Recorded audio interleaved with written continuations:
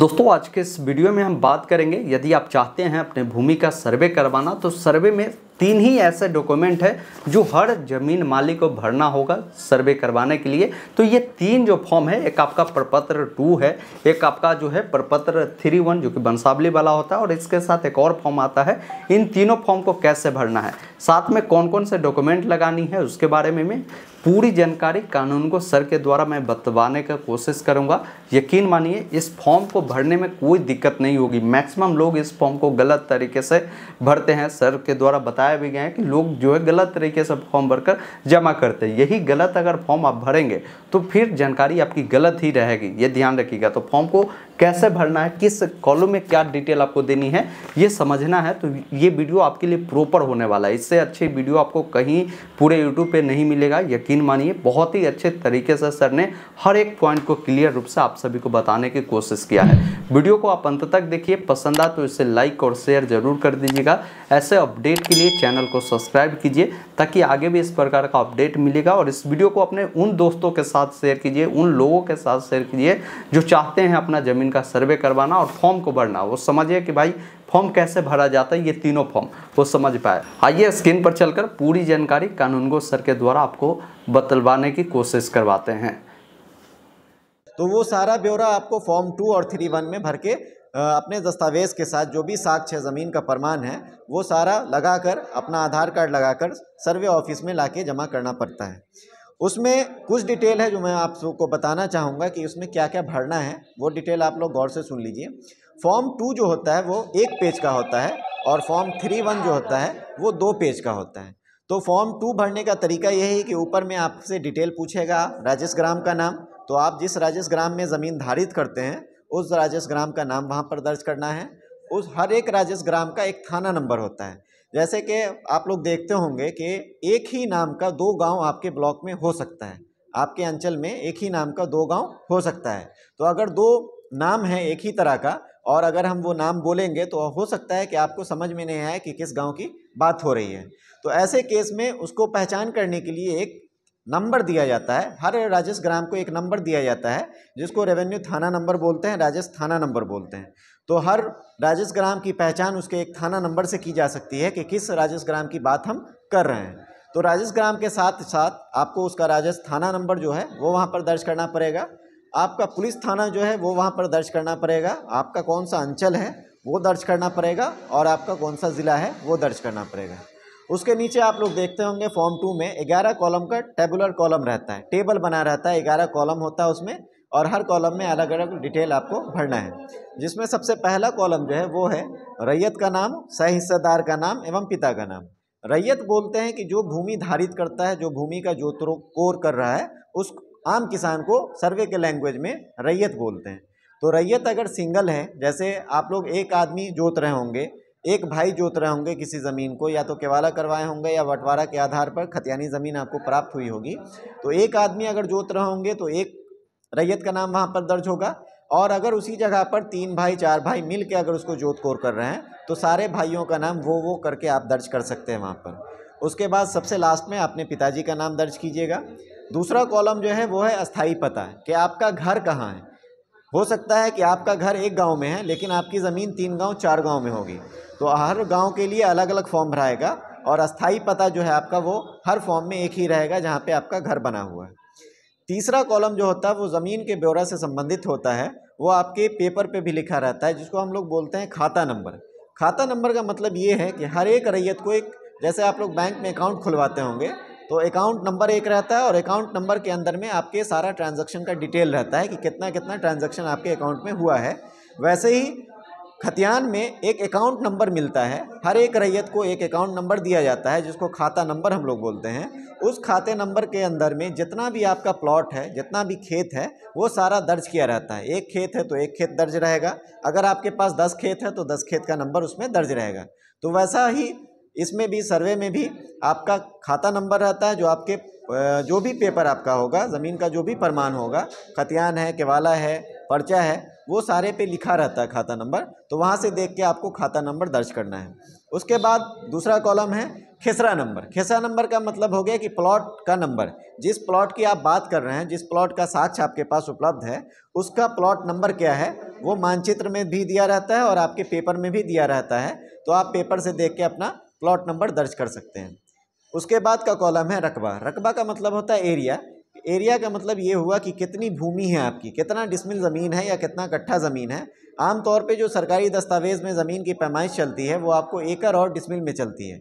आप गाँव घर में देखते होंगे कि आप कट्ठा में उसको मेज़रमेंट करवाते हैं, बहुत सारे लोग कट्ठा में बात करते हैं, लेकिन सर्वे की जब भी बात होगी तो वो वहाँ पर एकड़ और डिसमिल ही चलेगा। वहाँ पर कट्ठा और धूर धूर की नहीं चलेगा। तो आपको वहाँ पर जो भी डिसमिल है, कितना डिसमिल ज़मीन आपकी प्राप्त है, वो प्लॉट कितना डिसमिल का है, वो वहाँ पर दर्ज करना है। उसके आगे कॉलम आता है चौहद्दी। चौहद्दी का मतलब है कि वर्तमान चौहद्दी।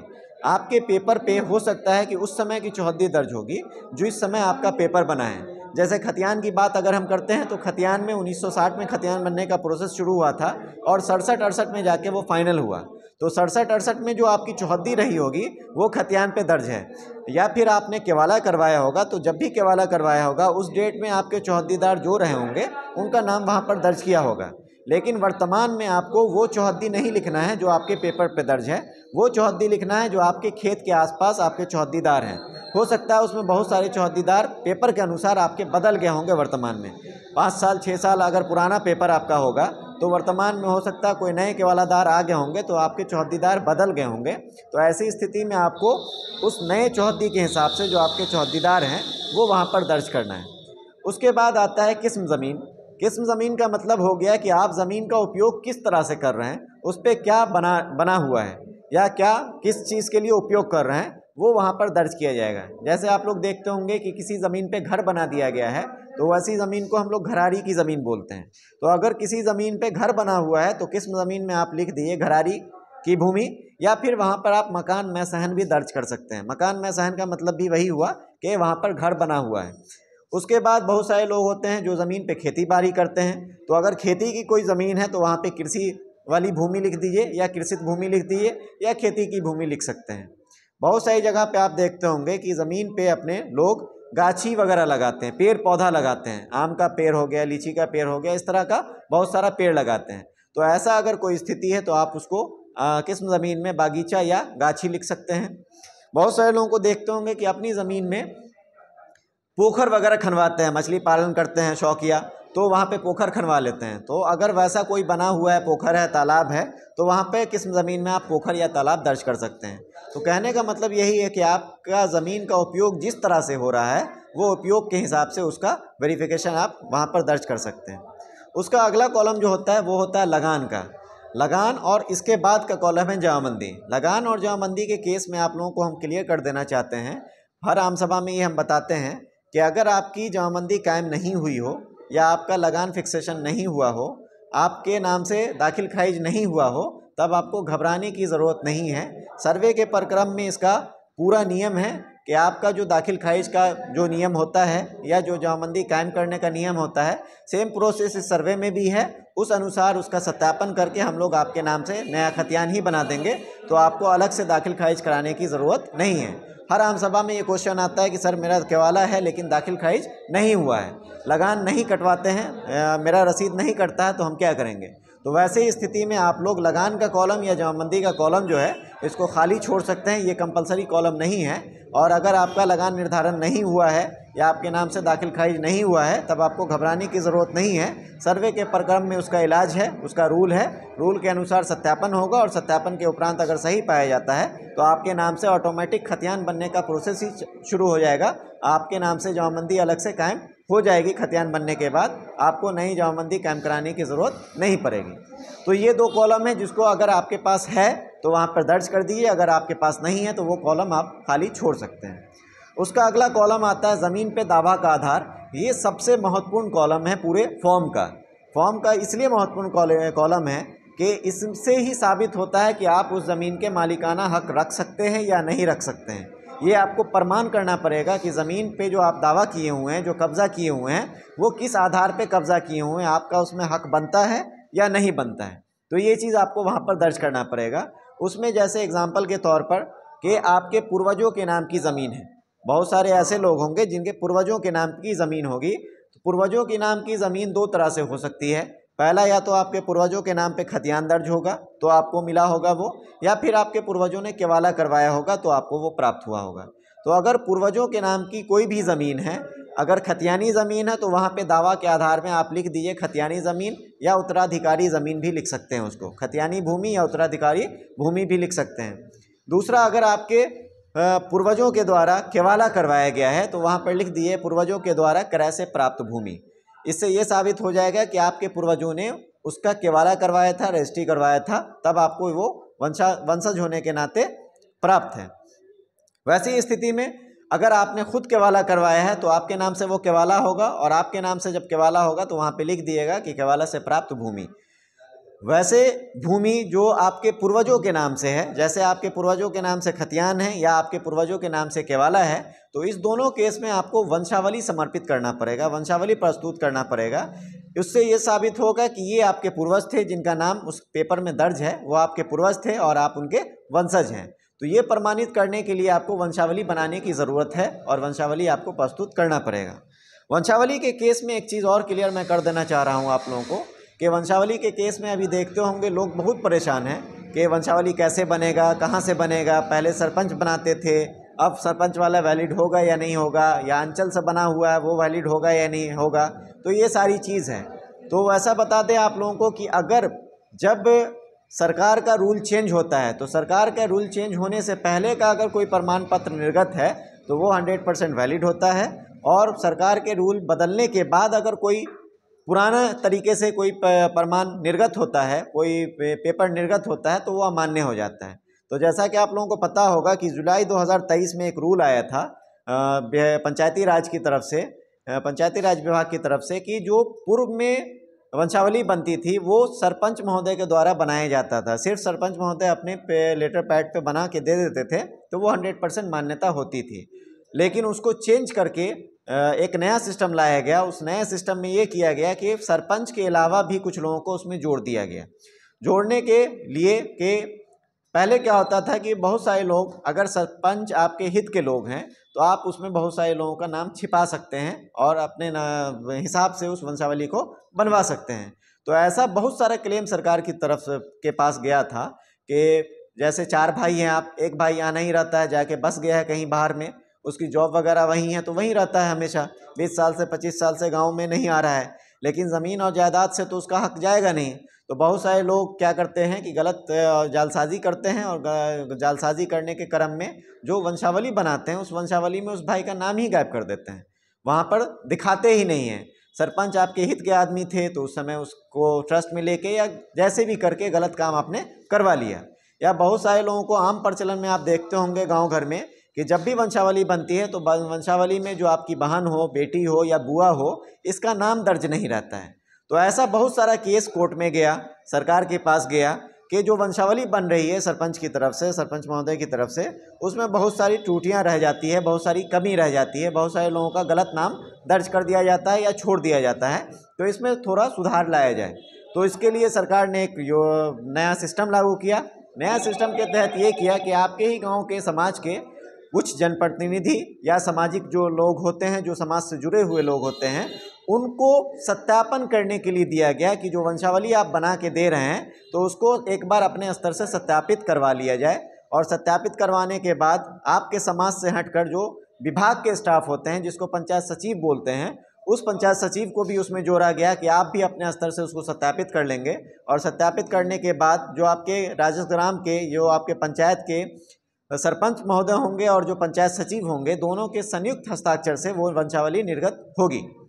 तो अभी आप लोग देखते होंगे जो वंशावली का फॉर्म आता है, उस पर सत्यापन के लिए आप लोगों को गाँव के जो आपके मुखिया जी हैं, उनका साइन, आपके वार्ड मेंबर जो हैं, उनका साइन, आपके जो गाँव के चौकीदार होते हैं, उनका साइन, आंगनवाड़ी सेविका जो होती हैं, उनका साइन, ये सारा साइन उस पर लगता है। सब लोग उसको सत्यापित करते हैं उसके उपरांत आपके समाज के कोई दो ऐसे लोग, कम से कम दो लोगों का उस पर नाम दर्ज करना है, जो गवाह के तौर पर ये साबित करेंगे कि हाँ ये जो वंशावली बनी है, वो बिल्कुल सही बनी है।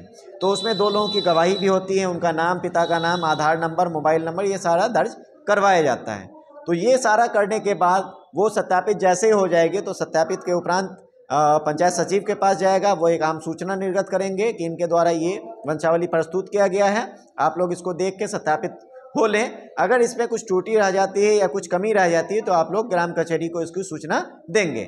ये पंद्रह दिन का समय दिया जाता है। पंद्रह दिन के समय के उपरांत अगर कोई आपत्ति उस पर नहीं आती है तो पंचायत सचिव और सरपंच साहब जो आपके गाँव राजस्व ग्राम के या पंचायत के हैं, उनके संयुक्त हस्ताक्षर से वंशावली निर्गत होती है। लेकिन वंशावली बनाने का प्रक्रिया थोड़ा लंबा हो गया। उसके लिए आप लोगों को थोड़ा समय का इंतज़ार करना पड़ता है। तो उसके लिए एक और ऑप्शन है जो सर्वे में आप लोगों को मेरी तरफ़ से या विभाग की तरफ़ से दिया जा रहा है कि आपका जो भी वंशावली है, वो आप लोग एक एफिडेविट पर बनवा लीजिए। अभी भी आप लोग जाते होंगे वंशावली बनाने के लिए तो एक एफिडेविट का इस्तेमाल होता है, वो एफिडेविट आपको बनवाना पड़ता होगा। तो वैसे ही आप एफिडेविट बनवाइए, जिसका काम उस वंशावली में वही होगा जो पंचायत से बनता होगा, और उसी का एक फ़ोटो कॉपी सर्वे कार्यालय को उपलब्ध करवा दीजिए, ताकि उस आधार पर उस सर, उस वंशावली का जाँच हम लोग अपने स्तर से भी आम सभा लगाकर जाँच करवा लें और जाँच करवाने के उपरांत आपका सर्वे का काम हो जाए।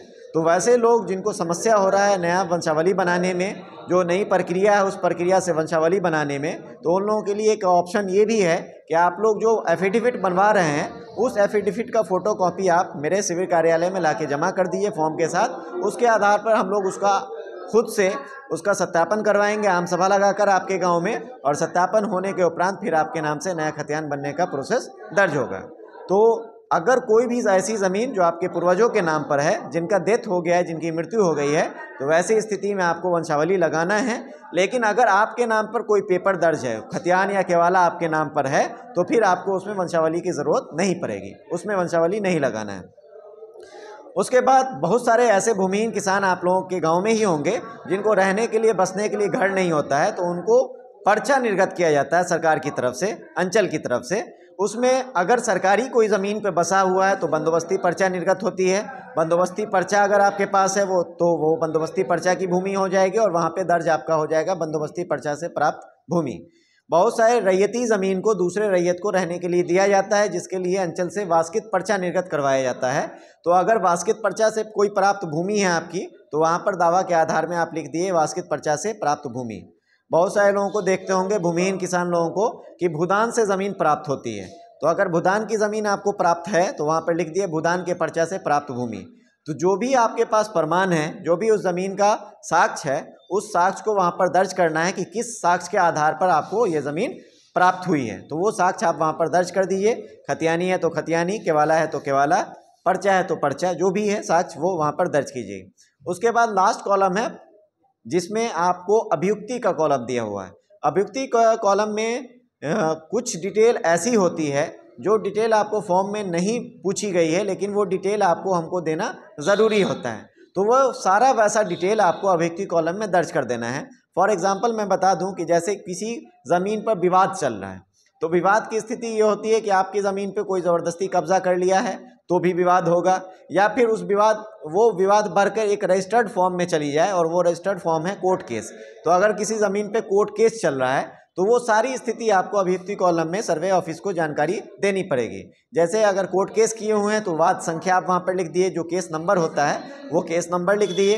किस साल में केस हुआ, वो सन लिख दीजिए, और उसकी स्थिति अभी वर्तमान में क्या है, वो वर्तमान स्थिति वहाँ पर दर्ज कर दिए या बहुत सारे ऐसे लोग होंगे, जो केस नहीं किए होंगे, आपकी ज़मीन है किसी और दूसरे के द्वारा कब्जा किया हुआ है। तो वैसी स्थिति में आप वहाँ पर अभियुक्ति कॉलम में बकब्जे जो आपका कब्जा किए हुआ है, वो बकब्जेदार में उसका नाम वहाँ पर दर्ज कर दिए। इससे ये प्रूफ हो जाएगा कि ज़मीन का प्रमाण आपके पास है, ज़मीन का पेपर आपके पास है, लेकिन कब्जा कोई और किए हुआ है। तो कब्जाधारी जो है, उससे भी हम पेपर मांगेंगे। अगर वो पेपर उपलब्ध करवा देता है, सही पेपर उसका रहता है तो उसके नाम से खाता खुलेगा। अन्यथा की स्थिति में जिसके नाम से प्रमाण है, ज़मीन का पेपर है, उसके नाम से खाता खुलने की प्रक्रिया अभी होगी। ये नए सर्वे में उसके नाम से खुलेगा। तो ये फॉर्म टू है। ये सारा डिटेल भरने के बाद नीचे में आपका हस्ताक्षर है, आपका मोबाइल नंबर है, आपका आधार कार्ड है, ये सारा डिटेल आपको भरना है। हस्ताक्षर करना है, अंगूठा का निशान लगाते हैं तो अंगूठा का निशान लगाइए और ये सारा डिटेल भर के उसके बाद आता है प्रपत्र तीन एक। प्रपत्र तीन एक वैसी स्थिति में आपको भरना है जहाँ पर आपके पूर्वजों के नाम पे ज़मीन है। अब हम लोग चलते हैं फॉर्म थ्री वन की तरफ़। तो थ्री वन में दो पेज होता है। वो पहला पेज जो होता है उसमें आपको देखते होंगे सबसे ऊपर में लिखा हुआ सेवा में और शिविर प्रभारी और उसके नीचे अंचल। अंचल जो आपका है वो अंचल का नाम लिख दीजिए। जो आपका ज़िला है वो ज़िला का नाम लिख दीजिए। उसके नीचे तीन कॉलम दिया हुआ है। तो उस तीन कॉलम में अगर एक आदमी किसी ज़मीन को जोत आबाद कर रहे हैं तो वो एक आदमी का नाम वहाँ पर दर्ज होगा। और अगर वो सामलात तौर पे दो आदमी तीन आदमी दर्ज कर रहे हैं तो उसका जो, जो सामलात तौर पे अगर जोत रहे हैं तो वहाँ पर उन सारे लोगों का नाम दर्ज किया जाएगा। जैसे हो सकता है कि दो तीन केस बनता है वंशावली के आधार पर जो बंटवारा होता है उसमें कि एक खतियान ऐसा हो सकता है जो आपके बाबा के नाम पे सिंपल एक आदमी के नाम पे होगा और बाबा से आप लोगों को प्राप्त होगी बंटवारा होगा। तो वैसी स्थिति में आप लोगों का अगर अलग अलग बंटवारा हो गया तो एक आदमी का वहाँ पे नाम दर्ज होगा। लेकिन अगर किसी खतियान में आपके बाबा का नाम और बाबा के दूसरे भाइयों का नाम है और जो बंटवारा अभी आप लोगों का हुआ है वो बाबा और बाबा के दूसरे भाइयों के बीच हुआ है, आप लोगों का बंटवारा नहीं हुआ है तो ऐसी स्थिति में वो सामलात रह जाएगी और सामलात की स्थिति में आपके जो भी जीवित वंशज होंगे, जो आपके खानदान में होंगे, जीवित वंशज, जो रैयत होंगे, उनका नाम वहाँ पर दर्ज होगा। दो आदमी है तो दो आदमी का नाम, चार आदमी है तो चार आदमी का नाम, जितने भी लोग होंगे, सबका नाम वहाँ पर दर्ज होगा और वो वंशावली के अनुसार दर्ज होगा। जो आप वंशावली बनाइएगा, उसी के आधार पर वो वहाँ पर दर्ज होगा। उनका पिता का नाम लिखिए, जिस आदमी का नाम लिखिए, जिस रैयत का नाम लिखिएगा, उनके पिता का नाम उनके सामने लिखिएगा। उसके नीचे आपका कॉलम जो डिटेल पूछ रहा है, वो डिटेल आपका राजेश ग्राम का नाम है, आपका गाँव का नाम है, आपके ज़िला का नाम है, आपके अंचल का नाम है और आपकी जाति है। जाति खतियान में कंपलसरी होती है। ये खतियान में जाति दर्ज की जाती है, आपका नाम दर्ज किया जाता है, पिता का नाम दर्ज किया जाता है और निवास स्थल दर्ज किया जाता है। आप जब अंचल में जाते होंगे जाति प्रमाण पत्र बनाने तो उसका सत्यापन आपके खतियान से ही किया जाता है कि आपके पूर्वज कौन से जाति से बिलोंग करते थे, वही सेम जाति आपके अभी आपकी बनेगी। तो जब भी जाति प्रमाण पत्र बनाने जाते होंगे तो फिर क्या होगा कि आपका उसी खतियान के अनुसार जाति प्रमाण पत्र बनेगा। तो वैसी स्थिति में आपको यहाँ पर जाति आपकी दिखानी पड़ती है कि किस जाति से आप ताल्लुक़ रखते हैं, वो जाति का नाम वहाँ पर दर्ज होगा। बहुत सारे केस में ऐसा होगा कि जमाबंदी आपके पूर्वज के नाम पे ही कायम है। तो पंजी टू जिसको बोलते हैं जमाबंदी पंजी बोलते हैं कि जमाबंदी पंजी में किन का नाम दर्ज है, वो वहाँ पर दर्ज करना रहता है। पंजी टू के जमाबंदी जो रैयत हैं, उनका नाम दर्ज करना रहता है। तो अगर आपके नाम से दाखिल खारिज हो चुका है, बंटवारा हो चुका है और जमाबंदी आपके नाम से कायम है तो आप अपना नाम वहाँ पर दर्ज करेंगे। अगर आपके पूर्वजों के नाम पर जमाबंदी चल रही है तो आप अपने पूर्वज का नाम वहाँ पर दर्ज करेंगे। उसके नीचे आपका खाता नंबर है खिसा नंबर है, रकबा है। ये सारा डिटेल जो फॉर्म टू पे भरे थे, सेम फॉर्म थ्री वन के पहला पेज पे आपको भर देना है। भरने के उपरांत नीचे में साइन है, वो साइन कर दीजिए और फिर उसका दूसरा पेज आता है। उस दूसरा पेज पर आपके हिस्से में जो भी ज़मीन पड़ी है, जो आपको बंटवारा से ज़मीन प्राप्त है, उस बंटवारा की ज़मीन का पूरा ब्यौरा उस पर दर्ज करना है। उसमें भी सेम कॉलम रहता है, रैयत का नाम रहता है, पिता का नाम रहता है अस्थाई पता रहता है, खाता संख्या खेसरा संख्या, रकबा, चौहद्दी और जमाबंदी संख्या। अगर वो प्रा बंटवारा हो के आपके नाम से जमाबंदी कायम हो गई है तो जमाबंदी संख्या दीजिएगा और अगर नहीं हुई है तो उस कॉलम को आप खाली छोड़ सकते हैं। लेकिन रैयत का नाम, पिता का नाम अस्थाई पता, खाता, खिसरा, रकबा और चौहद्दी, जो वर्तमान चौहद्दी है, ये वहाँ पर आपको दर्ज करना कंपलसरी है। वो फॉर्म भर के दर्ज कीजिएगा और दर्ज करने के उपरांत नीचे में साइन कीजिएगा और साइन करने के बाद ये तीन पेज के फॉर्म के साथ साथ आपको कौन कौन सा दस्तावेज़ लगाना है वो फॉर्म थ्री टू के दूसरे पेज पर दिया रहता है। वहाँ पे लिखा भी हुआ है अनु अनुलग्नक के तौर पर तो वो अनुलग्नक में आप जो जो आपको आ, लगाना है जो पेपर आपका मांग करता है वो पेपर वहाँ पर लगाकर आप फॉर्म जमा कर सकते हैं। जैसे उस पेपर में आप लोग जानते होंगे कि जैसे खतियानी ज़मीन का अगर आप दावा कर रहे हैं तो खतियानी ज़मीन आपकी है आपके पूर्वजों के नाम पे खतियान है तो आपको खतियान का एक छाया जमा करना पड़ेगा और वंशावली आपको समर्पित करना पड़ेगा कि आपके जो खतियान में जिनका नाम दर्ज है, वो आपके पूर्वज हैं, ये साबित करने के लिए। उसके बाद जैसे केवाला है तो केवाला भी दो तरह का मैंने बताया है। एक केवाला जो आपके नाम पर होगा तो आपके नाम पर है और आप जीवित हैं तो आपको सिर्फ़ केवाला की छाया प्रति जमा करनी है। और अगर आपके पूर्वज के नाम पर केवाला है, जिनकी मृत्यु हो गई है तो वैसी स्थिति में केवाला के साथ साथ, केवाला के छायाप्रति के साथ साथ आपको उनका वंशावली भी प्रस्तुत करना पड़ेगा। ये प्रमाणित करने के लिए कि जो केवालाधारी हैं, जो क्रेता हैं, वो आपके पूर्वज हैं, ये प्रूफ उससे होगा। तो वैसी स्थिति में आपको वंशावली भी वंशावली भी प्रस्तुत करना है और केवाला की फ़ोटोकॉपी भी प्रस्तुत करनी है।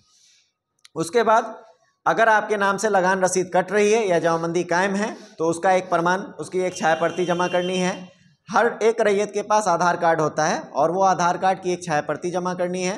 जैसा कि आप लोगों को पता होगा, आम सभा में भी ये सारी चीज़ बताई गई है कि इस बार जो सर्वे हो रहा है तो सर्वे में खतियान बनने के बाद एक कार्ड आप लोगों को दिया जाएगा। खतियान का अलग अलग खिसरा याद रखने की आपको ज़रूरत नहीं है। जैसे आपके पास दस प्लॉट है तो वो दस प्लॉट का अलग अलग नंबर याद रखने की ज़रूरत आपको नहीं है। एक कार्ड दिया जाएगा जिसको लैंड कार्ड बोलते हैं, भूमि कार्ड बोलेंगे।